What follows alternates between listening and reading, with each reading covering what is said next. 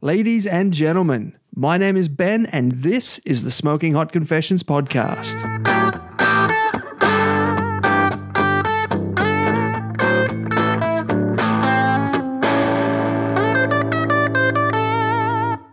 Hey, family, it's Thursday, and that means it's time to talk some Q. This is episode four of season two Living the Dream. In this season, I'll be chatting with some of the most successful barbecue entrepreneurs out there about the different types of businesses you can get into and what it takes to be successful. Have you ever looked at charcoal briquettes and wondered how they're made? Or lumped charcoal and been curious about how a chunk of wood becomes charcoal? Or do you have dreams of opening up an international importation business? In this episode, we'll be breaking down all three of these with an incredibly candid and insightful interview with Abel from Clean Heat Barbecue. So grab yourself a hot steak, a cold drink, and let's get into it. This is the Smoking Hot Confessions podcast with barbecue pitmaster Ben Arnott. How long's it been since your last confession? Support for this episode comes from Harvey's Kitchen. Harnessing over 25 years' experience in commercial kitchens and catering, Harvey's has a burning passion for food and they make amazing barbecue flavour easy to achieve for all levels of barbecue. Their entire product range is handcrafted locally in Brisbane from quality ingredients, and they've gone out of their way to make their products easy to use with simple features like resealable bags. I've played around with their butcher's box and have found their preservative, gluten, and dairy free rubs and sauces to be top notch stuff. The butcher's box has nine rubs and six sauces in it. I love the ginger citrus salt on chicken wings and the hop and habanero hot sauce on everything. Right now, Harvey's is offering Smoking Hot Confessions listeners an exclusive 20% discount. Yes, 20%. All you need to do is head on over to harveyskitchen.com.au and use the code word confessions to get your hands on some today. Once again, head over to harveyskitchen.com.au and use the code word confessions at checkout for 20% off your order. Hi, Abel. Thank you for joining me in the confessional today. First things first, what was the last thing you barbecued? Good evening, uh, Ben. It was an absolute pleasure being on your show today. Thank you very much for having me. Mate, um, because we had the interview tonight, I uh, had to do a rather very fast cook. So what I did is I um, I did some um, chicken drumsticks this evening in the Weber, and um, sort of dashed out a bit of salad and uh, a few roast potatoes, which I also did in the Weber as well. Mate, that sounds fantastic. How did you go about cooking them? Did you use a kettle cone type thing or a drumstick rack? How did you do it?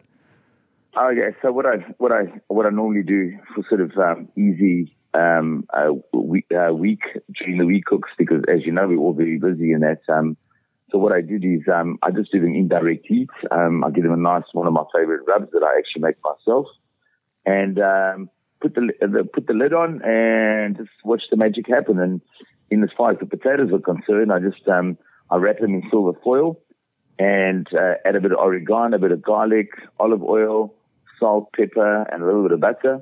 Wrap them in foil and um, just let them do their thing. So, yep, um, that's exactly what I did tonight. Sounds divine, mate. I love the sound of those potatoes. Oh, awesome. They were absolutely gorgeous. Yeah. Now, mate, uh, as I said in the introduction, you are a charcoal manufacturer, so I'd imagine you'd have plenty of barbecues available to you for R&D purposes. I'd like to know what is it that you cook on at home when you're cooking for yourself? Oh, mate, you know, I have um, I have a, a quite an uh, quite an array of, of, of, different rigs. Obviously, as, as, you're well aware, you know, we have our own um, smoking uh, smoker manufacturing company in South Africa, AR uh, Smokers. So my my prize position is the Baron, and you've you've seen that yourself. I posted it on on your page. Um, but that uh, that's my one offset that I use. I have um, a Gateway drum smoker that I love using. I've got half a dozen different UDS drums that I've made. I've got an open barbecue spit. I've got uh, a dozen uh, different types of uh, Webers in different colors. I have a Go Anywhere, and I've also got a little pop-up grill from Sweden. Funny enough, it's a little camping grill. So I, have got a lot of rigs. So I utilize most of them as much as I can. Oh, right. Okay. I didn't realize that um, that uh, AR Smokers was part of Clean Heat Charcoal, or is it the other way around? Uh, no, no, it is. Uh, what it is, myself and well, it's it's myself and, and Rob Curran, who's also my partner in the clean heat business globally. Uh, um, Curran, um, uh, Rob Curran lives in San Francisco. He's based in San Francisco. So we decided to come up with uh, another company called AR Smokers and also uh, the Kings of Smoke.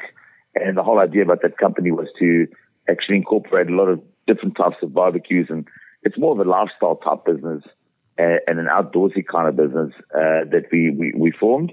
And together with our, uh, another partner, Johan Fritz, who's actually the designer of these smokers, who's based in Johannesburg in South Africa, we decided to come up with these um, these products. Now, myself and myself and uh, Robin are involved in the Clean Heat label, which is obviously a global label. But my other partner, who's Rob Shawn, uh, I'm involved with them at Blaze Braai Products, and that is where our manufacturing facilities are for the charcoal in South Africa. So oh. it's, it's, kind of a it's a kind of a, a two way split. So Clean Heat belongs to myself as a brand, together with Rob Curry in San Francisco, but my my my factory actually is um, uh, I'm involved with Rob Shawn and his family, and and that belongs to Blaze Braai Products. Gotcha, gotcha. Okay, well, mate, that um that that smoker is just a beast. I've seen the photos of it. It is dead set sexy. Oh, it's unbelievable. It really is beautiful, Ben. It's it's a handcrafted smoker, and every single piece of, of, of metal that is actually um, constructed in there is all individually crafted. Even the rivets that go around the actual smoker itself, every single rivet is hand milled. Um, the handles are all handmade. The actual uh, um, the hinges, uh, everything that functions on that smoker is actually handmade is, uh, by hand by bu- fantastic, fantastic and articulate artisans back in South Africa. Wow! So we we really, really are very, very chuffed to that product. It's really a beautiful smoker. Yeah, right. Now, as you've uh, uh, identified, you are from South Africa uh, originally, and um, yes. I, I believe that uh, barbecue is referred to as braai over there. Is that right? That's exactly right. We call it a braai, and funny enough, uh, Ben, the first time I ever saw a, a, a gas barbecue in, and I'm 55 years old um, the first time I ever saw a gas barbecue was actually when I, I immigrated to Australia 22 years ago. so, so, so, it was actually quite a quite a strange thing for me to see guys just grilling meat on a flat plate and using gas. You know, we've always sort of kind of kept that for restaurants, and um, everybody in South Africa actually braais. That's what we do. We we grill meat on on, on charcoal or, or, or wood. Right. Okay. So so is that the the big difference between braai and low and slow? Then is is braai grilling as opposed to indirect low and slow? No, there's a huge there's a there's, there's a massive difference. Um, typically in South Africa, uh, we don't low and slow. It's only starting to actually take off now, and um, we've got a we've got a massive smoker that is actually placed in Johannesburg, and the the actual results and the, the interest has been unbelievable. Our partner Johan Fritz uh, from a retro industrial, we actually built the smoker, uh, decided to build a a, um, a proper a proper truck, a trailer that he that he has to actually physically drive with with a tractor to the side of the road because the smoker itself weighs three and a half tons. It can take 400 chickens. And the response from the South African public has been unbelievable. Traditionally, South Africans, we like to direct, uh, direct grill uh, all, all our meat. And the way we sort of control heat is uh, our, our, grills are almost uh, like asada grills that you can actually lift up or down according to to how you want your meat to to taste. So um, low and slow has never been part of the South African culture, but grilling meat and grilling food over fire has always been there for millennia. Yeah, yeah. There's a lady from South Africa that I work with, and she's always talking about um, different South African sausages. She says that you just can't get the same sausages here as over there.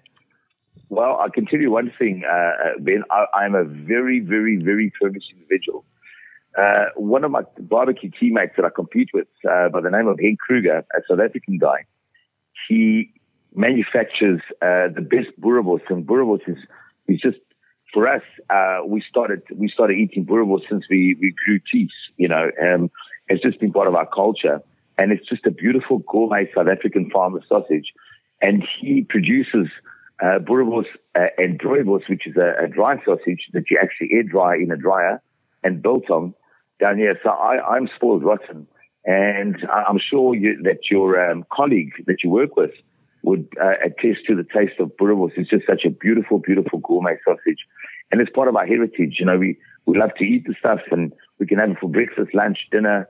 Uh, we take it with us on, on road trips. We take it with us on safari. Um, there's no home in South Africa that you'll open the fridge and you won't find at least uh, half a kilogram or kilogram of boerewors lying there waiting to be eaten. Cool. So, what makes it different to um, to like a like a regular Australian beef sausage? Uh, okay, so uh, so what happens generally with with sausages, and this is my understanding. I'm, I'm no butcher, but I'm from the you know the snags that we call the snags down here. A lot of the stuff there's a lot of fillers in them.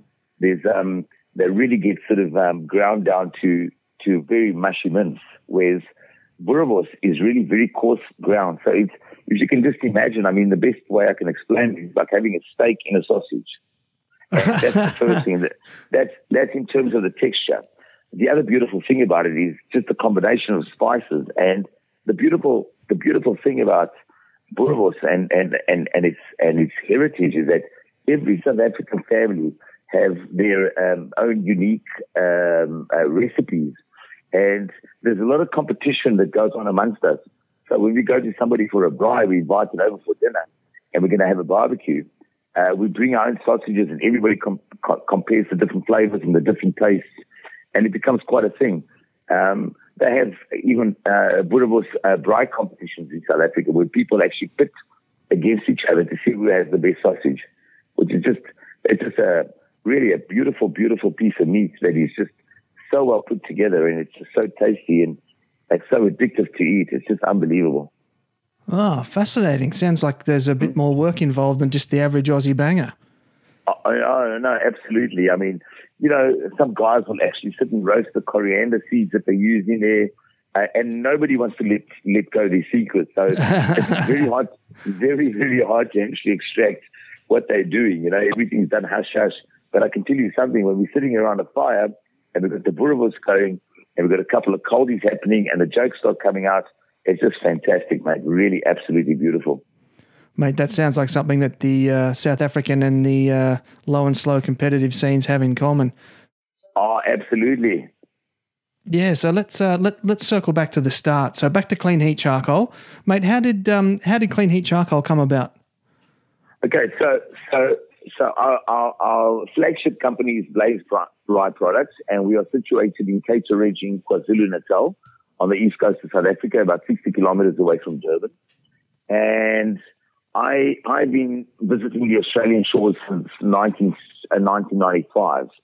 When I arrived in, when I arrived in, Australia, I would have to wait the whole day uh, before the factory uh, uh, before the before management came to the factory, you started seven o'clock in the morning, and that, by that time it would be like five o'clock in the afternoon for us. So it was just driving me nuts. I had nothing to do, absolutely nothing to do in Australia. I was sitting there waiting for the factory to fire up in our markets in Europe and everywhere else. So my partner Rob said to me, "What if I what if, what if I send you a container and see what you can do in Australia with it?" and sat down and I thought about what could we call our product that would appeal to the Australian public, but also tick all the boxes as to what we are about. And we came up with the pro- we came up with the with the name, the label Clean Heat. And the reason why we came up with that is first and foremost, it's it's the the fuel itself is really a very very clean uh, uh, burning fuel, and it has a lot of it ticks a lot of the eco boxes that a lot of other brands don't. For example, it comes from a, sustainable, renewable source. That's the first thing. Secondly, the way it is harvested is very, very eco-friendly. Uh, the other thing that it does is it helps uh, uh, it helps short grass growth uh, by by by um, how, how should I say? It's an invader bush, if you like, for a better word. And by cutting it down, what it does is it actually encourages short growth and it helps animals with their feed. It helps farmers with their cattle. And also it, uh, it creates a lot of job opportunities out in the bush where there aren't any job opportunities any other way. So it ticks a lot of these boxes. So by us coming into Australia and creating clean heat, um, we thought to ourselves that would appeal not only to, to the Australian public, but globally as people that are conscious about what's happening in the environment, we thought it would be a, a, a good label. And that's how the name Clean Heat came about. But our business has been going for 17 years now in South Africa. Oh, right. So, well and truly before Clean Heat sort of started up as Clean Heat, you were already doing your thing as uh, as Blaze Braai. Yes, we started a small little briquette making plant up in KwaZulu Natal, and from there we started um, expanding into the charcoal business. And uh, we may not be the biggest in South Africa, but we certainly have uh, one of the best fuels available, and our systems that we have, our quality control, and so on. There's no other there's no other factory in South Africa that actually exports the kind of quality of charcoal that we do. Yeah, right. Okay. It's um it, it was very clever to go with that uh, with that environmental angle. I think people are getting a lot more um, aware of that sort of thing now. So can you um can, can you explain a bit more about what that renewable resource is that you use to make your products? Okay, so so what it is what it is for us Ben is Namibia has a problem with uh, alien alien bush alien species, and one of these uh, alien bushes that actually have taken over the place is a bush called the Mopani or the Mopani tree or the Mopani bush, if you want to call it that for a better word. And what it does is it actually inhibits all short, uh, short grass growth. So wherever the Mopani tree grows, it actually kills everything around it. Short grass grows, uh, graziers like the impala, the springbok, the kudu, uh, zebra, rhinos, all animals that are eating short grasses, it starves them of their feed. So by cutting this tree down or this bush, this alien bush down, we encourage short grass growth and it brings back animals into that area. That's the first thing that it does. The other thing is there's a lot of farmers up there that are running cat, cattle on their stations, farms, whatever you want to call them. And by cutting those trees down, cutting those bushes down, it actually helps cattle with their feed. So it, it, it really has a great um, uh, uh, impact into our, uh, on our environment. And by us, by us eradicating this bush and converting it into charcoal, we're doing two things. First of all, we, we're helping animals uh, uh, have sustenance. That's the first thing.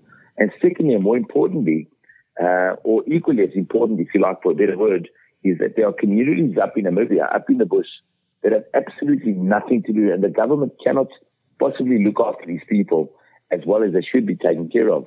So by by creating a charcoal industry, uh, we actually creating employment for these communities that otherwise wouldn't have any money. Yeah, very nice. So, mate, what is the process like for taking a chunk of wood and turning it into a, a chunk of charcoal? Okay, it's it's it's a very interesting one, Ben, and I, I like to keep things pretty natural. Uh, the way we, uh, a lot of people do underground pits, and uh, other people use retort ovens. There's a lot of ways of actually manufacturing charcoal. But what works for us in the bush is we've got these mobile kilns. So if you can just imagine this massive drum, which is about two meters in diameter, and the wood, the wood gets cut by, it gets cut by hand. Um, we've got 450 people out in the bush cut, cutting, cutting the bushes out. Now these bushes have a lot of thorn trees. Got, there's a lot of thorns, a lot of small twigs and so on. So they have to separate the big logs from all the twigs. So having said that, and when that's done, they collect, so for two or three days, all they do is cut down and collect these, um, these, um, these stumps, if you like. They then, we then, what we do is we put kindling in, we level the ground down, we put a whole bunch of kindling down and we start a fire. We then take this mobile kiln, this, you can just imagine this big drum, this big barrel, and we put it over the kindling and then we proceed to start throwing raw wood inside that drum. Okay. At the bottom of the drum, there is a bit of a gap it allows airflow to go through to accelerate um, uh, the fire. We keep adding and adding and adding and adding and adding until the fire starts getting to the top. When the fire gets to the top, you'll find that the bottom pieces are starting to burn now, so it starts dropping uh, considerably. Then we add more wood in there and then eventually what we do is once we fill this drum up to capacity, we then block the top off completely. We put a lid over it and we seal the bottom of the drum and we seal the top of the drum. So no, no air can actually, uh, no oxygen, oxygen can actually go into that drum. So the question is, how then does the fire continue? Now, wood has various variables and it starts from moisture and all sorts of other things. But when it gets to about 475 degrees Celsius, uh, I'm told, is that you start getting a production or uh, evaporation of ethanol and tar. So both these things actually start fueling the actual fire inside that drum. Now, when all those variables have actually exhausted themselves, the fire itself goes out, but then carbonization starts taking process, uh, uh, starts taking, um, uh, starts taking place, if you like. It starts taking place. And otherwise, if you had to allow all the oxygen to go in there, if you had oxygen, it would just burn to ashes. But when, when all those variables have actually burnt out of the wood, then all you have is this pure, pure carbon that actually carbonizes. And that process takes, you, you, you burn the wood for about six to eight hours before you actually snuff it. And then we come back the next day, we open the drums, and then we have this beautiful, fantastic organic charcoal waiting for us. It really is a beautiful, beautiful process. Yeah, right. Okay. So it almost sounds like it's uh, baked to the point of self combustion. Is that right? Have I understood that right? That's that's exactly that's exactly you hit the nail on the head. It actually starts self combusting. All the variables start evaporating out of the timber itself. Those variables start actually fueling the timber, the, fueling the fire inside the drum. And when they're done, they're done. So all you're left with is carbon. Ah, there you go. So why is it then that um, that, that that charcoal then burns for longer than wood? Okay, so because, excuse me. One of the one of the main reasons is because wood is just a raw material. But if you change the constitution of the wood and you turn it into a carbon, you start getting a very very compressed, um, high density uh, fuel, a, a fuel, uh, a, a carbon fuel that actually, when you burn it, when you actually start lighting it, instead of it flaming up, and you notice with charcoal, it doesn't flame. Good charcoal will never flame. You get this glow coming in, and it actually starts burning through the carbon itself before it, uh, and the oxygen obviously reduce it into ashes. So charcoal will always burn a lot longer than wood. If you allow wood to be exposed in oxygen and in air, it just burns straight down to ash. It hasn't got the time. It, it, it, the, the oxygen does not give it the appropriate time to actually carbonize it actually burns right through it. But by snuffing out the oxygen and allowing the, the variables like the ethanol and the tar that are in the wood to actually do that process for you, you then get a very, very dense piece of carbon, which will actually burn much, much longer than natural wood. Ah, okay. Cool. Thank you for sharing that. I've always been curious about that.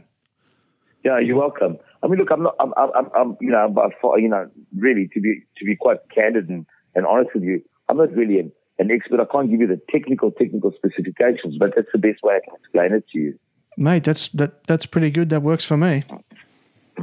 Awesome. So how is um how is charcoal different to briquettes then?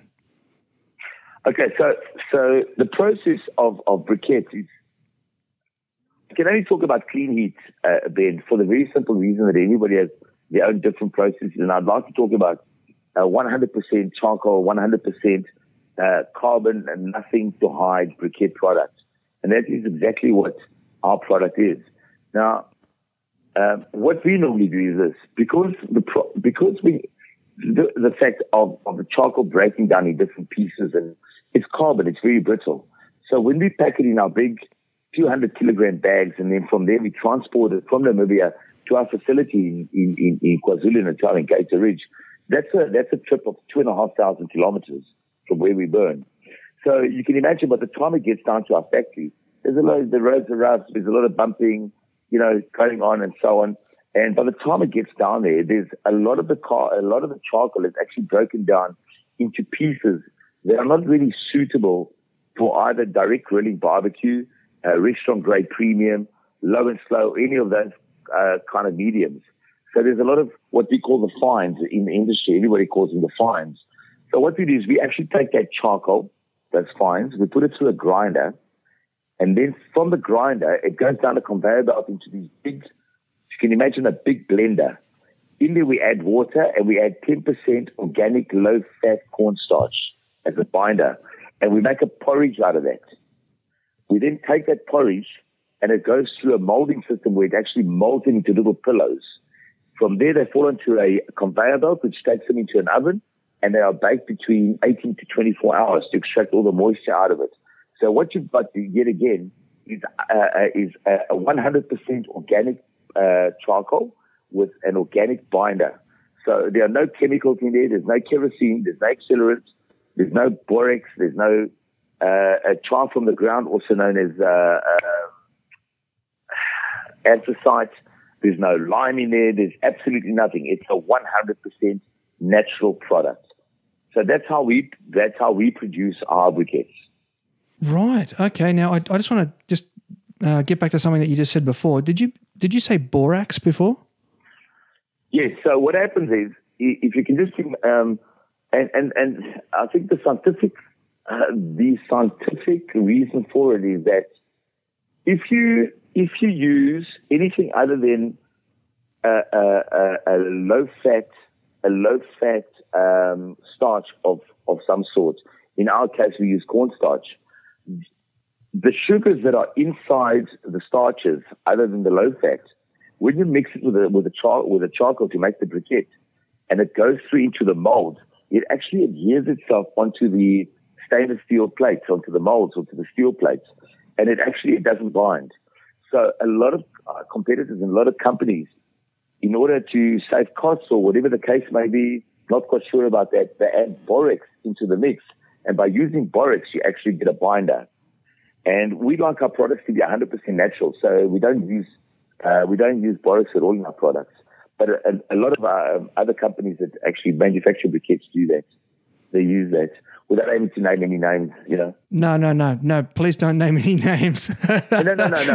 That's, that's, we, we, we here to, you know, we here to talk about our product and, and what we do with it. But that's why we don't use borax because it's a chemical, you know, and we, we'd like to keep our products very eco. We want to keep them as natural as possible. We want people to have the experience of cooking on, on a beautiful natural product that they know is healthy, it's not harmful, it's got no uh, carcinogenics in there, uh, or any other nasties. And, and that's what we're trying to achieve, and we're trying to achieve this globally. Hmm, I'm going to have to keep an eye out for that next time because I, um, I'm pretty sure I use something called borax as an ant poison around the house. So that's, um, that's, that's a bit of a worry. Yeah, and they use borax also in, um, I believe, also in uh, washing detergents and all sorts of other um, kind of stuff that they clean with and so on. I, I, you know, I'm not very clued up about borax, but I do know. I mean, it's not, it's not very difficult. I mean, you, you can actually name some, you can, you can Google some of our competitors and, and, and, and you'll actually see for yourself. And these are facts that I've actually, I've looked into. I mean, we make a point of actually looking to see what other people are using, what our competitors are using, and what is it that we can do best to actually better our product. So, we get, you know, borax is a commonly used uh, product in briquettes. Mm. So is lime. So is lime. Um, there have been uh, uh, briquettes that have been analysed that have had um, uh, phosphorus in them, uh, all sorts of things. You know, sand is another one that they use as a binder. Sand for for heat distribution. Uh, accelerants they use a lot of kerosene uh, and and paraffin is another one that they use. You know, other um, derivatives from from the oil companies. They use it for instant light products where they actually coat the stuff in you like it, you can actually smell the stuff coming off it. I mean, it's not it's not difficult to to work out. You know? Yeah, yeah, yeah. If, if, if anything, our briquettes, Ben, uh, when you light them, they've got a.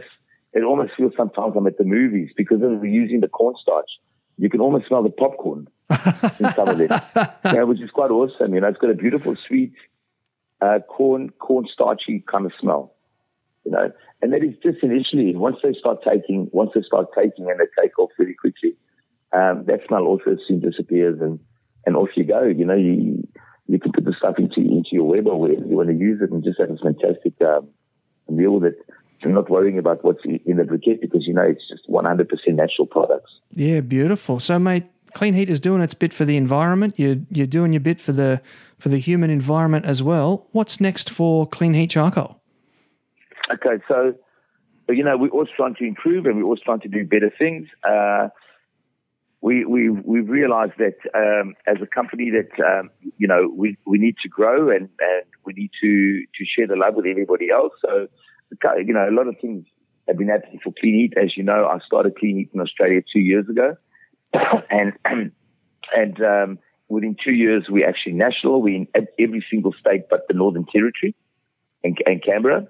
Uh, together now with my partner in San Francisco, we are busy with the launch in the United States next year. Myself, myself, uh, Rob Curran in San Francisco and Rob Sean in South Africa.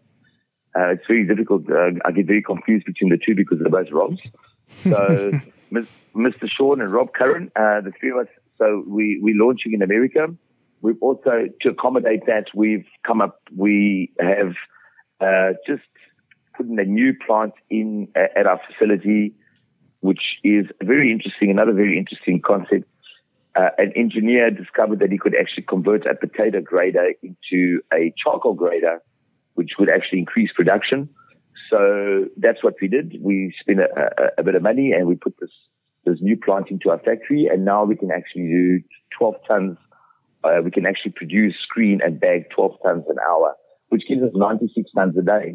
And in the summer season, when we're running 24/7, we can do just under 200 tons in a 24-hour shift.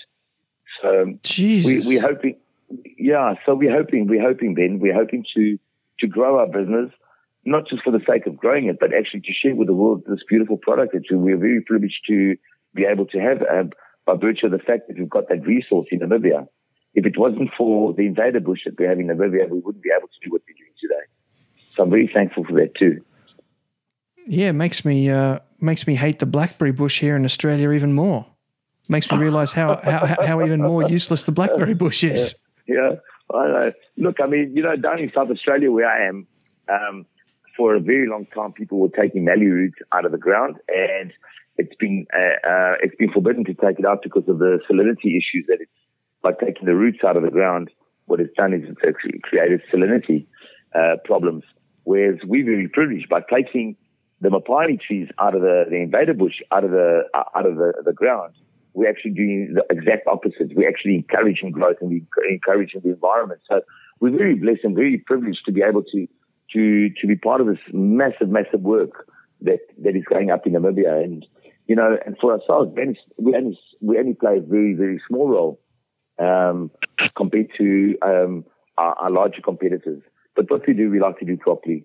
And, and I'm very thankful and very privileged, and I feel very honored that I'm part of this whole movement. This is Bretto from the Flaming Mongrels, and you're listening to Smoking Hot Confessions.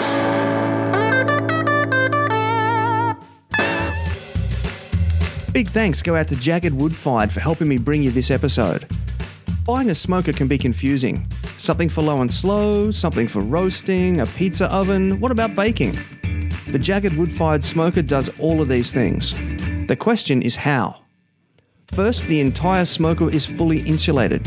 The firebox is insulated with kiln grade bricks, and there are more on the cooking chamber floor, doubling as a pizza stone. The cooking chamber is then insulated with a 6cm or 2.5 inch insulation blanket. This means that the JAGRD can get up to 600 degrees Fahrenheit in under 30 minutes, sit at low and slow temperatures using very little fuel, and will even sit well under 200 Fahrenheit for cold smoking.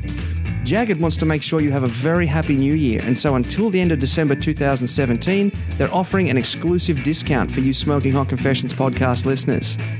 Use the code word confessions at checkout if buying online, or quote it when dealing with them direct for 15% off your purchase price head on over to jagrdoutdoorovens.com, spelled J A G R D, to learn more.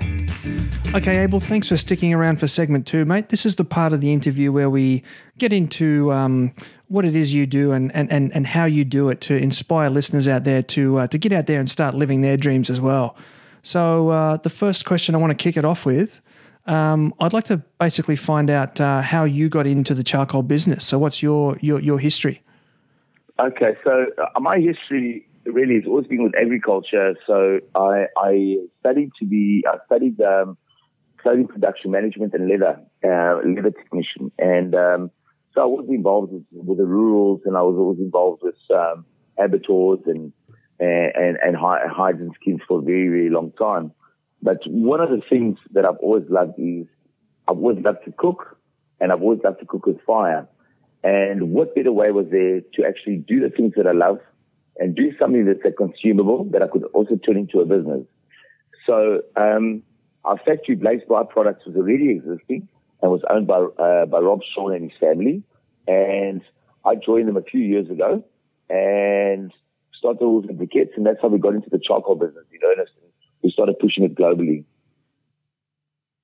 Cool, very nice. And so, so what's your life like now? Can you walk me through a through a day in your life? So I, I am a I'm a guy that likes to get up very early in the morning. So by about five o'clock, I, I get up and I do my thing. Um, sort of just all the usual stuff, wash my face, have a shower, brush my teeth, have some breakfast. and during the course of the day, what happens is obviously you're getting different phone calls, people phoning you for product, people wanting to come down and have a chat to you at the warehouse, having a chat to me. Um, so oftentimes you get guys coming down, they want to pick up charcoal, they might be from barbecue team, guys from our page that we've got down here, SA barbecue page. And almost always there's always a cold beer waiting for them. And if they if they're lucky, then we've got a few snags on the on the barbecue or a couple of chicken wings, a few lamb chops, and that's the order of the day, Ben. So I run around from morning till night delivering, and then when I come home at night, I quickly fire up the Weber or I fire up one of my barbecues, get ready for the evening. I like to cook on charcoal every single night, or you know, if, uh, I'll be hard pressed to miss a night or maybe two nights if, if I'm really under pressure. So while the barbecue's going, I'm preparing my meat have have uh, have a good meal, and then I'm straight in my office and I get stuck into phoning my my partner in South Africa, phoning my partner in in San Francisco, having a chat and seeing the developments and what's been happening, what needs to happen, orders that are processed, where the containers are, where the ships are, and and, and you know and, and what needs to happen next. So my day starts at about five o'clock and typically ends at about eleven o'clock in the evening, sometimes midnight. Oh my goodness! Wow. So it's it's it's just twenty four seven barbecue at your place. Yeah, it, it is. That's that's exactly right. I live, eat, and breathe barbecue and charcoal, and I love doing it. I really absolutely love doing it. so, mate, what what skills would someone need if they were looking to uh, to start up a charcoal business? Okay, so um, for a start, you need to be a people's person. You, you, you know, it's not a product that you can actually just sell like you're selling a a table or a chair or an ironing board or a couch or a you know a, a set of wine glasses. It, it's not that kind of product. You you know it's a kind of product that actually appeals to what we call in our business the three F's: fire, food, and friendship. So when you've got fire, you've got food, and when you've got food, you've got friends. So the kind of uh, marketplace that you're actually in is is is a feel good kind of uh, market. It's you, you're appealing to people's taste buds. You're appealing to the emotions. You're appealing to a lot of beautiful things that actually make us human. So, I mean, what better way is there to to enjoy yourself and to sit around a fire with your family and cook some beautiful meat and that everybody can enjoy, friends, family, uh, your buddies, or whatever the case might be, you know. Um, and and so so for a start, you need to you need to be a people's person you need to understand that this business is not a kind of business that you can actually switch on and switch off. It just doesn't work like that. I often get messages at nine o'clock at night. Hi, Abel, I'm doing a brisket tomorrow. I'm going to use your key needs. How much must I use? What shall I do? And you've got to be there for these people because they believe in your product. They love, they, they love using your product and there's a commitment that's involved that is, it's not a nine to five thing. We're not selling insurance. We're selling a lifestyle. You know, we, we push our lifestyle. We, you know, it's, it's, it's all about, it's all about how one feels when one sits and eats a nice piece of meat using the charcoal. So you need to be a people's person. The other thing that you need to, to be is you can't be lazy. You really have to work hard at this. This is not a kind of business that, you know, it happens by itself. You've got to get out there. You've got to load bags of, of, of charcoal sometimes yourself. I, ha- I have restaurants calling me at 11 o'clock at night, 11.30 at night, saying, she's, we, we forgot to place an order. We've got a whole lot of people, you know, that are here. The restaurant's full. We've run out of charcoal. And I get up, I get out of bed, I get dressed, I go to my warehouse and I load my ute and I'll go down to the city and I will drop off what they need. So you need to have that kind of commitment with the business. Um, that's if you want to do it properly. There's a lot of people that want to just, uh, it's, you know, start at nine o'clock and finish at four o'clock, and that's all well. But if you really want to do it well, you need to breathe, eat, and live charcoal, and and and, whatever is around it, and namely that's food, fire, and friendship. And that, that's the only way I can say to you, Ben. Mate, that's that's actually one of the best ways I've ever heard that summed up. Food, fire, friendships. If if you got That- fire, you that is- get food, and if you got food, you get friends. I love it. and that's and that is and that is why our logo is fuel your passion. So the three F's actually amount to fueling your passion. So when you've got fire, you've got food, you've got friendship, and by doing all these three things, you can actually fuel your passion. Your passion for food, your passion for fire, your passion for your friends, your family, your passion for life, your community, your passion for doing the right thing by others. All these sort of things, you know, they're all sparked by a fire. Oftentimes you hear you, you, you, you, you see poets writing stories, uh, poems uh, and singers, and they all talk about this fiery passion they have in their hearts. That's exactly how you've got to feel about your business, about charcoal. You've got to really have to have that passion. And, and by doing all these things and, you know, and living these things and really living them, not just going through the motions, you feel that passion inside you and everything else falls into place then. That is beautifully like said, a- mate. Beautifully said. It's like, it's, thank you very much. It's like, that's exactly how I feel about my business. That's the way I feel about my community. That's the way I feel about my product, you know. Mm. And, and, and, and, and, and, and, uh, I dare say that's the way I feel about food too. I love eating. I love eating. I love eating good food. I really do. I Yeah, love, yeah. I love cooking and eating. Yeah, I'm, I'm mad about that. You know, it's it's really, it's just such a beautiful feeling. I don't know why. It just, it really is. Mm. You know. So, what what resources would they need to uh, to get off the ground? Okay, so you obviously need a certain amount of money because you would you, you would uh, uh, require equipment um, to to you know you would you would need uh, warehousing. You would need raw material that that costs money. Um, so money would be first and foremost. You would need a, a really a decent amount of space to be able to store your stuff. You would also need uh, a vehicle to actually deliver it. Or if you don't use your own vehicle, you need to outsource it, which in turn comes back, you need money you would need that. And you would need to be very, very organized. You know, you know, especially like if you're talking about doing your, your deliveries, you can't go from A to Z, Z to Y, Y to N, you know, N to P. You need, you need to be structured and say, okay, so, so every Wednesday I'm going to deliver in the north of my, my area. Every Thursday I'm going to do deliveries in the south. And your customers get to know you that this is what you're doing. You know, every Wednesday you're there. You phone them up beforehand. You, you, so it, it takes a lot of management, a lot of time. And those are the kind of resources that you actually, you can't put money on it. You know, you can either do things properly or you can just be a busy fool. And unfortunately, with charcoal, you can't. The margins are so small. The profit margins are so small uh, that you cannot afford to be a busy fool if you're going to make it a sustainable and a profitable business. You can do things properly, or you can be a busy fool, mate. I think that's the quote of the episode right there.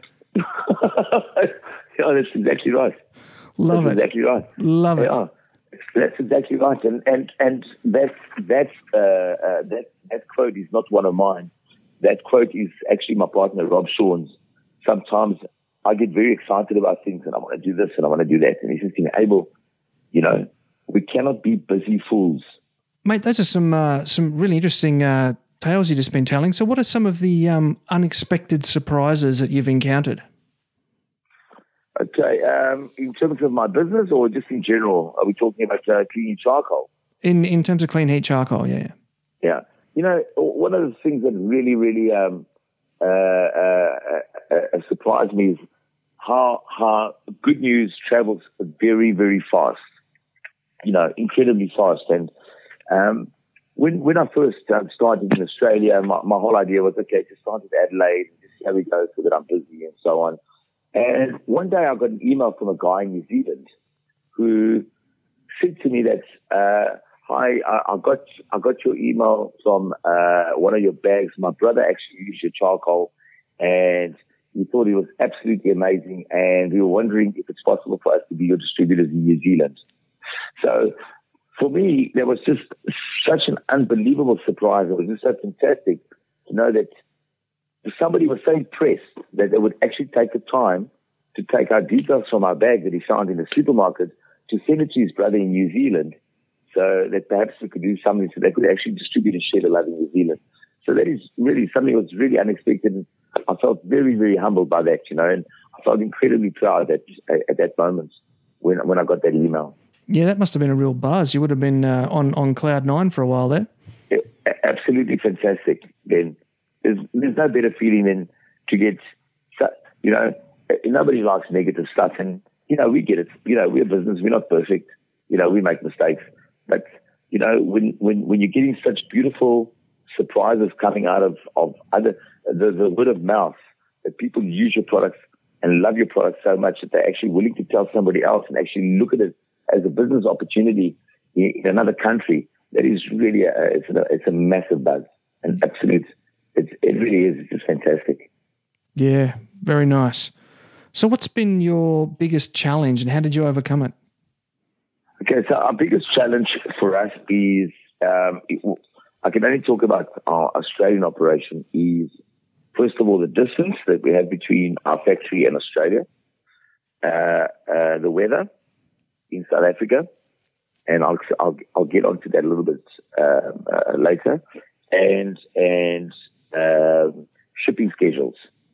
Okay, those are the three. The other problem that we've encountered, but it's getting a little bit better now, is um, customs and excise. The Australian customs and excise have, have, have created massive, massive issues for us um, over the last couple of years. So the distance is the biggest problem, and the reason why it's a big problem is that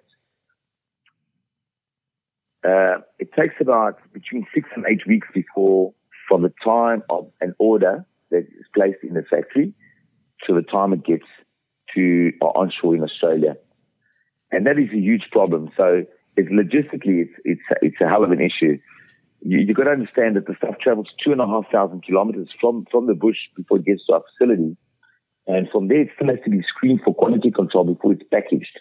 After that, we need to, we need to, um, uh, uh, book the stacks on the ships, on the vessels. And then it's up to them whether they do a transshipment via Port Louis in Mauritius, or it goes to Singapore, or it goes to Port Kelang.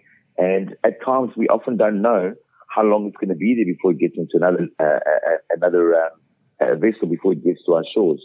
Then when it gets here, whilst uh, Australian customs are doing a fantastic job and a great job, they're also inundated with a lot of backlog and a lot of other containers that they need to inspect and what have you. So oftentimes we find if it is pulled in for customs inspection, it might take anything up to 10 days, 11 days, sometimes even 12 days before they actually release it, which means a complete unpack of the container, a full inspection, then a repack and then sent to us. Whilst that happens, though, it also is a risk of our products getting broken and, and spoiled because of all the handling. You know, it's um, a lot of people don't appreciate that carbon charcoal is very, very brittle. So if you if you're handling the bags very roughly and throwing them around, uh, they do tend to break, which actually reduces the quality of the product. So that's been another uh, another challenge for us. Uh, what we've done is we've um, we've changed our our, our order cycles to Australia so that as soon as a container leaves the shore of South Africa, we're already packing another one. We're not waiting for it to get two weeks into the sale. Whereas before we were saying, okay, let it, let it go for another three weeks and then we'll start putting another one on the water. Now we're just doing like literally one every 10 days is actually leaving the South African shores to actually uh, to, to, to come to Australia. So that's how we've overcome it. The biggest problem that we have out of everything is nature in. That is our issue. And our busiest season is in the summer. And both South Africa and Australia in the southern hemisphere. So you can imagine at summer, everybody's barbecuing, the orders are piling up, everything, you know, hunky dory. And then we have a tornado come through the factory, or we have floods up in Namibia, or uh, there's storms down and they wash, they wash ships away down in the harbor in, in South Africa. The, the, the weather, the weather patterns have really, really thrown us out this year. In fact, we had a flooding in Namibia in February that we couldn't actually produce anything for. We lost five months of work this year. So we've only really worked seven months this year. For five months, we couldn't actually work. We couldn't get dry charcoal into, into, into our factory. So we had to dry it and, um, recheck it and recheck it and recheck it to make sure that it was 100% bone dry before we could export it because only the best only the best will do for us, and we don't compromise on our quality. So the weather we can't help, but everything else logistically and these things we've taken, uh, we've put uh, measures in place that we don't get caught with our pants down as we were doing when we first started uh, operating in Australia. Yeah, I guess when you're just sort of starting out, it's hard to sort of estimate that demand and make sure that your supply is able to meet that demand. But it sounds like you've built clean heat up, uh, up enough now that that demand will be pretty constant. So you know, uh, as you said, as soon as one's on the water, you start packing the next one. It's very constant now. And the other thing that has helped us as well is that whereas before I was doing everything myself, Ben, everything was sort of um, shipped out of South Australia, so the stuff was coming to Adelaide. And then um, we would have um, guys in, say, for example, Brisbane ordering three pallets and somebody in Sydney ordering two pallets. And before I knew it, like boom, 48 pallets would be gone. And then I, I didn't have enough to, for, for repeats, you know, and th- those businesses have grown within their own right so much, all our distributors across Australia, that they actually now ordering their own 40 foot high cube containers that are actually going directly from their factories to the different states, individual states.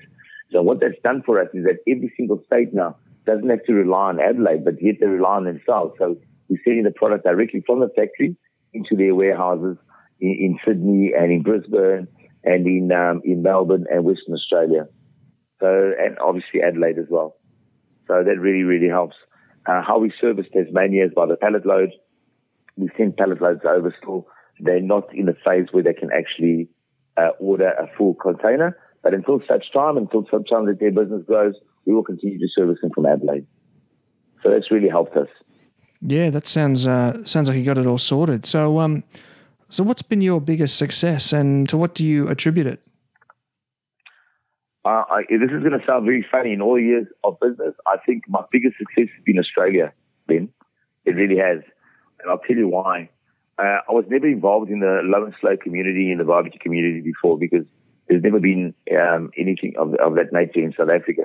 But coming to Australia two years ago, meeting all these wonderful, wonderful, wonderful people that encompass the, the barbecue community and really making amazing friends along the way and, and, and seeing such good, honest, uh, and open-hearted people that have allowed me into their spaces, you know, but through, through my charcoal and to be able to actually create a business. We took a no-name brand, a no-name brand then. Heat was a no-name brand in two years. And within two years, we were national. And this year, we were also runners up for uh, uh, brand of the year with the Australian Barbecue Alliance, which we know that um, I think it was wasn't Barbecues Galore. I can't remember who took it this year, but it's just such an honor to know that people actually uh, love our product so much, and uh, uh, we've created such a wonderful community and such a wonderful family in Australia. That to me is outstrips by far anything else that I've ever done in my life. And I, and I mean this sincerely, besides having a family and, um, you know, you know, um, giving birth to a child and, and so forth and all the good things and, you know, loving my loved ones and my partner and what have you. But, uh, in terms of business, uh, really this has been my, my greatest achievement. It really has. You know, selling charcoal in South Africa is a no-brainer. Everybody uses it everybody uses it. You, you can go into a haberdashery shop and you can buy charcoal. You can go to a chemist, a panel beater, a mechanic, you know, even a bus driver will use charcoal. It's like that. But, you know, to come to, to come to a country where predominantly everybody was using gas and it started changing this, and you know it yourself, you've been involved in the community and you see people starting to change into charcoal and people starting to use our product more and more and more and more to such an extent that within 24 months, we are we have gone national, and particularly in South Australia, where we supply 460 supermarkets and 140 servos in two years. That is a massive, massive achievement, and that is that is a, uh, that is really a, a, compliment to our product, but also to the people that actually support us. And I'm very thankful and very humbled by that. Yeah, for sure. So overall, as a profession, how how do you rate being a charcoal supplier? I wouldn't change it for anything in the world, Ben who gets to meet beautiful people every single day, deal with an organic product, come home, like his own product, eat good food from it, and really enjoy himself to such an extent that he's having a conversation with you. How wonderful is that? You know, I loved hides and skins. It's also a natural product and it had to do with a lot of stuff. But, you know, people would, you wouldn't have a leather business if people didn't eat meat. It's as simple as that. you wouldn't have people buying, you know, shoes, wouldn't buy belts. But here, this is like a very, very core material that actually feeds, feeds, nourishes people. You know, gets people together. It's, it's, it's, it is just, it's something that is just, it is not seasonal. It's not something you do in summer or you do in winter. You know, it's something that you can do every day of your life. It started with our, with our, our ancestors. It, it, goes from the beginning of, of man, you know, of the time we, we you know, we, we, we were created or we came on this earth. And it's just wonderful. It's a, it's a, I, I just absolutely love it. Oftentimes I have to pinch myself to think I'm so, so blessed and I'm so lucky that I do what I do. You're listening to the Smoking Hot Confessions podcast with barbecue pitmaster Ben Arnott.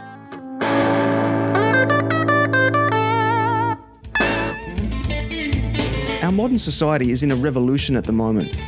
After years of exploring how we can use technology to better process our foods, we're now heading back the other way, realizing that traditional farming produces better tasting and healthier food. At the forefront of this movement is Pure Meats Robina. Not only are they a low and slow specialist butcher, they pride themselves on stocking ethically sourced organic products to help you give your family the delicious, proper balanced diet they need. Their meats come direct from Aussie farmers and are broken from carcass on site. Not only that, but all their products are made on site, from healthy, ready to cook stir fries for the time poor to my favourite, the smoked crocodile cabana. And for you competitors out there, I can tell you that the quality of the competition meat is not only outstanding, but most importantly, it's consistently outstanding. So do yourself a favour and head to facebook.com slash puremeatsrobina to find out more. Alrighty, Abel, we're now up to segment three, which is our listener question segment. So we've got a bunch of uh, calls that have come in from listeners who specifically want to ask you personally a question. Are you ready to get stuck into them? Absolutely. All right, let's hear what they have to say. G'day, Abel. It's Scotty from the Gold Coast here. Just wondering if you could tell me the best way to start a charcoal fire. Thanks, mate. See ya. Hi, Scotty. Thank you very much. Very valid question. Um, well, there, there, are a couple of ways of, of, of, doing it, or a few ways of doing it.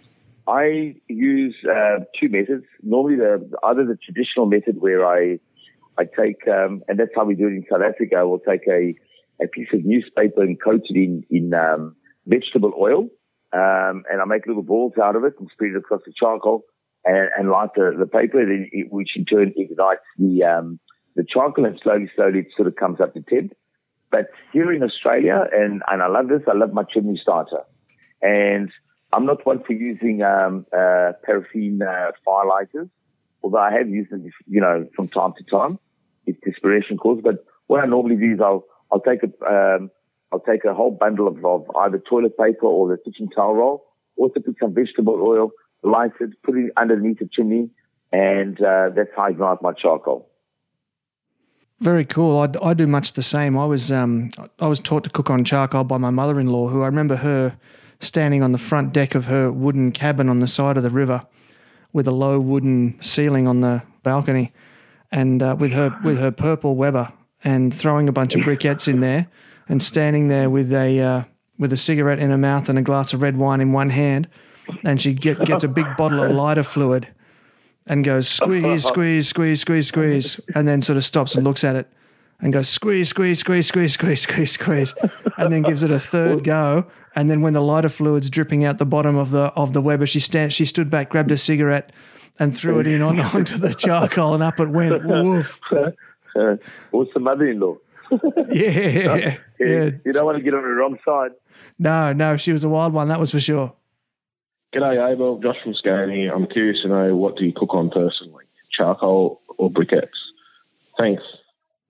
Uh, Josh, hi, good evening, and thank you very much. For you. I cook on both, really.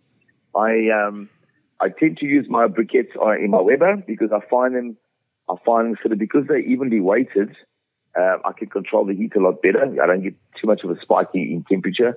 I find that our, our, charcoal can burn really, really hot, and sometimes I have uh, this. Uh, this tendency to to uh, put far too much charcoal than I than I need. Even tonight, I did like I don't know half a dozen drumsticks, and uh, the was still blaring outside, uh, and it'll probably go on for a couple more hours.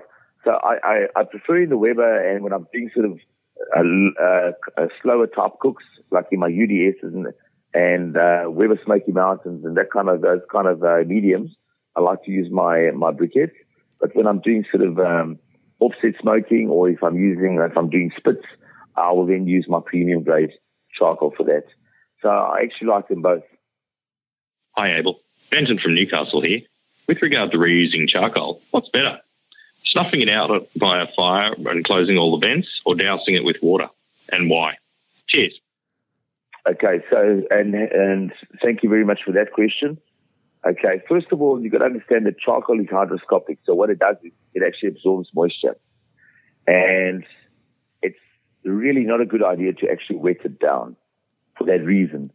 Uh, it, will take the ambient temperature, it'll take its environment um, that that is it's put under. So personally, and I think it's really it's the right way to go is to actually just snuff out the oxygen. Um, when there's no oxygen, the fire will die out, and then you can actually have a perfectly dry piece of charcoal the next day that you can actually use. If you wet it, that doesn't mean that you can't relight it. All it means is now you've got to take it out, spread it out, make sure that all the humidity and the moisture has evaporated before you actually um, light it again. The other problem with that is you can never be too sure how much moisture there is inside that charcoal. So it may be dry on the outside, but it must still contain some moisture. And then you're going to start getting that steamy black smoke coming out of it, which will actually affect your cook.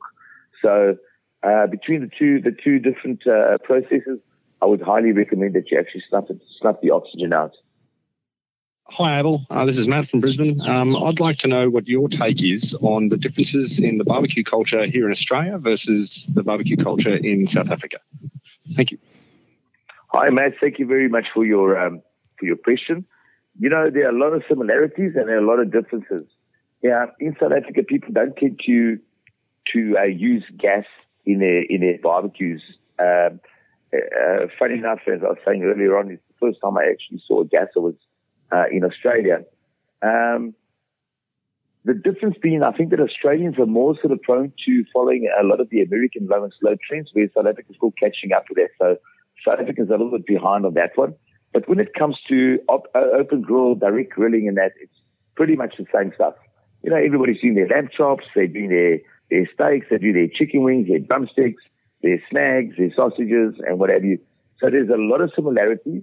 And I think the, the differences are very subtle. And I think in, in, in due course, um, as, as South Africa sort of catches on to the low and slow scene, and it's already starting, I'm getting a lot of, uh, a lot of inquiries about my smokers. We're getting a lot of inquiries about fruit wood and so on. I think South Africa was pretty much on the same on the same train as as we are here in Australia. Um, the other thing also is that the way that South Africans prepare their meat uh, for barbecuing is a little bit more exotic than uh, we have here. They've, they're very into a lot of spices, and South Africans like to heat a lot. So you'll find that a lot of their, their marinades and a lot of their rubs are very, very, very spicy indeed. And I think that is a tribute to the, uh, the Cape Malays that came from Malaysia back in the 1800s, uh, the Indians that also arrived at colonial England. And we've got a lot of spices in our, in our rubs. Uh, um, as opposed to they prefer the spicier stuff rather than the sweeter stuff that we, we often get down here in Australia. But in terms of uh, the differences, um, I think uh, a lot of there's a lot of similarities between the two countries, but I still think South Africa needs to catch up on the low and slow. Um, they're not as advanced as we are down here. I know that there's a bit of a, a bit of a movement in Australia at the moment towards um, native to, towards using native Australian uh, herbs and spices. Um, what are yep. some some native South African herbs and spices that get used in barbecue over there? Um, we there's, I, I, can tell you there's a lot of South Africans, very uniquely South African. Um, I don't know exactly what the ingredients are. Like we've got a, we've got a spice called aromat and there's not a single household in South Africa that hasn't got a dry rub called aromat. And we use it uh, on chicken, on pork, on fish, everywhere. It's just a beautiful, beautiful, beautiful uh, rub. Another one is that we've got a rub for potatoes, which is, it really does my head in. It's actually a rub for potatoes and it is just absolutely beautiful. I cannot explain to you the the um, the flavors in there, but some of the flavors that are very highly used in South Africa is um, uh, uh, the piri piri, which obviously is a bird's eye chili, is a massive one. We like to use dry coriander in, in our rubs, mm-hmm. a lot of coriander. Um, they love to use obviously garlic like everybody else, and um, there are a lot of influences from India. So we use a lot of the Indian spices in our rubs like masala and uh, and curries and and and uh, the uh, kind of Asian sort of flavors in our food. But in particular, we like to use a lot of chili. Wow, that sounds fascinating. Really beautiful. Really, really awesome stuff. Yeah, the the it's a very different sounding flavor profile to what we're used to over here. I'm going to have to go and uh, do a bit of research and check that out. Oh, it is. It is. I mean, um, we've got. Uh, you know, I'd love to send you some stuff. We've got a shop down here called uh, uh, South African Food and Booze, and the gentleman Mark Nolan, he he imports uh, all these uh, South African food products, and the amount of rubs that I find there, like you'll find piri piri powder, and you'll find piri piri sauces, and you also find like your sweet hot, hot sauces. But when I say to you sweet hot, you know, like we get like a sweet chili, and you you know, like you get a sweet chili type of um, the Thai flavor. style sauce. Uh, yeah, yeah, yeah. You'll, you'll you'll feel that sweetness, but with, in a in a sweet chili sauce, you don't really feel the chili. Whereas in our in our in our marinades and rubs, when I say sweet chili, you actually feel them both. You really feel them both. You know, I mean, you get uh, you get a hit from both both sides of the of, of the of the profile, the flavor profile. So the flavors are very very different, um, incredibly different and we call it boerekos, farm, farmer food, you know, farmer's food in Afrikaans. And they've got a very unique flavor profile. They like their spices, they like their herbs. Uh, there's another thing that, um, I don't even know, I can't even remember what it's called now. It's almost like, we call it fynbos. It's almost like salt pushing. It's, it, it kind of almost, it almost tastes like, like wild oregano, wild sage, or, or wild rosemary, or or wild thyme. It's a combination of all these three spices, you know, flavors, and we use it, we use that a lot in our food as well. You know, it's um, it's it's very different. It's very different to what uh, you know what Australians uh, tend to eat, but um, in in terms of in terms of uh, as I said to you before, in terms of our spices and that, we we prefer it on the spicy side rather than the sweet. With Dan from Country Boys Barbecue, and you're listening to Smoking Hot Confessions. Alrighty, mate, we're nearly done for this episode, but before I let you go, I do have my one last question. Can you share with us, please, three pieces of advice for people looking to get into the charcoal business? Okay. First and foremost, before anything else, and it doesn't matter how many millions upon millions of dollars you've got, if you won the lottery and you're able to set up a plant tomorrow, don't go near it if you don't have a passion for it. That's the first thing. You need to have passion you need to have commitment and you need to have love for barbecue, love for people, love for fire, food, and friendship. That's the only advice I can give you guys. You really got to eat it, live it, breathe it, and love it. And if you do all that, you'll have a successful business and you'll have a very, very, very happy life. Words of wisdom there, mate. Thank you very much. You're welcome, Ben. Well, now, mate, I'm turning the studio, I'm turning the confessional over to you. So it's time for you to give any shout outs you want to give out, any thank yous, etc., and tell people where they can track you down on the internet. Thank you, Ben. Okay, first and foremost, Ben, I want to thank you very much and, and the confessions, the Smoking Hot Confessions for having me on your show today. It was really a wonderful, wonderful uh, time chatting to you and a pleasure and my honor, mate. And I thank you very much.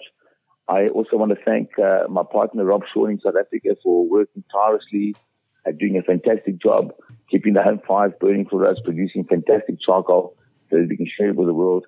My partner in, in San Francisco, Rob Curran, who handles all our media, he handles all the hard work there and getting ready to launch in America next year. I want to thank him. I also want to thank all the barbecue teams that support us and uh, the barbecue teams that we sponsor. I want to thank my uh, distributors for doing a fantastic job. But more importantly, I want to thank the community that's really support, that really, really believes in our products. And I want to thank uh, everybody in Australia that has actually uh, has opened the doors to us and has made us feel so, so welcome. I want to thank all you guys and uh, it wouldn't be possible without all these ingredients in place. In Australia, you can find us under uh, www.cleanheatbarbecue.com. You can also press and like our page, Clean Heat Barbecue, uh, on Facebook or on Instagram, Clean Heat underscore charcoal. And also look at, uh, you can also find us under AR Smokers on Facebook, and that is our company. We produce smokers, or Kings of Smoke on Instagram as well. Mate, thank you. I got to say, it's been a privilege to have you on the show today. And, uh, you know, I just want to say a, a, big thanks for swinging by and sharing your knowledge and your wisdom with us. And, um, mate, I've, I always have a great time when we do catch up in person, and I'm really looking forward to, uh, to seeing you again soon. Well, thank you very much, Ben. And it's been a long time between drinks. I think the last time we saw each other was in Melbourne at Meatstock, or the day before. And um, I hope it's not going to take another year before we see each other. But thank you very, very much once again for all the wonderful work that you do in the barbecue community as well, Ben. Um, you've done a tremendous, a tremendous, tremendous job with uh, uh, Smoking Hot uh, Confessions and with the podcast and your influence in the barbecue community. And also, thank you very much for always the, the wonderful posts that you post and your advice. And, and it's wonderful, and that's what it's about. And you really are. You're, you're an example to all of us, and it's a, a great example for us to be by. Thank you. Thank you for having me. Well, folks, that's this episode done like dinner. Abel has walked us through the processes involved in making briquettes and charcoal, what it's like running an international production and importation business, and shared some serious advice for anyone looking to get into doing something similar. Make sure you jump on Facebook and Instagram and follow Abel to not only look on as he goes on this adventure, but also to reach out to him to find out where you can get your hands on some of his environmentally friendly products. Coming up next week in episode 5, we get a very unique behind the scenes view into the world of barbecue promoters. Bronnie from 4670 Barbecue is renowned for hosting the most friendly competition on the Australian circuit. She lets us in on all the things that go on that you don't see when you're at a comp and shares some stories about what happens when it all goes right and what happens when it all goes wrong. You don't want to miss out on this. Big thanks and much gratitude go out to this episode's sponsors Harvey's Kitchen, JAGRD Wood Fired Smoker Ovens, and Pure Meats Robina. Their support makes this project possible. I've put their links in the episode description, so please click on through to their sites to claim those awesome offers for you loyal Smoking Hot Confessions listeners. If you have a message you'd like to get out to a barbecue mad audience, send me an email directly at ben at smokinghotconfessions.com.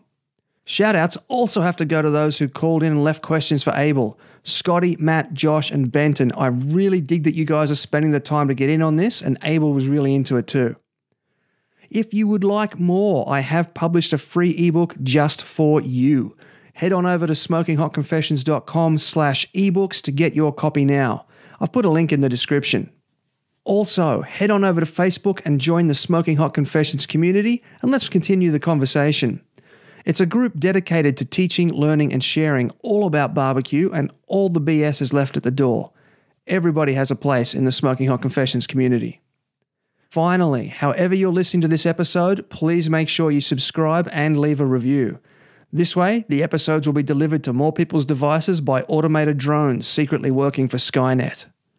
Until next time, take care of each other and keep on queuing. Thanks for listening to the Smoking Hot Confessions podcast. Head on over to smokinghotconfessions.com for recipes, tips, and Ben's own confessions.